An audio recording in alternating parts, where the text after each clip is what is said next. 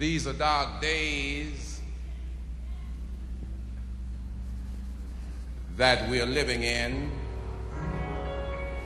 Bad situations, a world of tensions and frustrations, joys and sorrows, violences and upheavals. You don't know hardly which way to turn. But you got to have a determination that I'm going on anyhow.